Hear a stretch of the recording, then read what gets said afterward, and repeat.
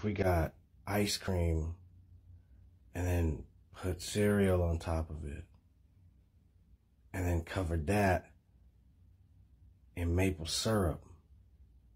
Yeah. Hell yeah. I don't know. That doesn't sound like a lot of like a like a good idea, man. You had a lot of alcohol tonight too, remember? Don't even trip, man. We'll we'll drink uh orange juice and we'll have cucumbers with just whatever dressing you have in the fridge that's probably old.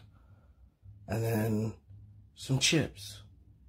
Nah, we'll be fine, man. Hmm. Alright, let's do it. Man, you don't give a shit about me.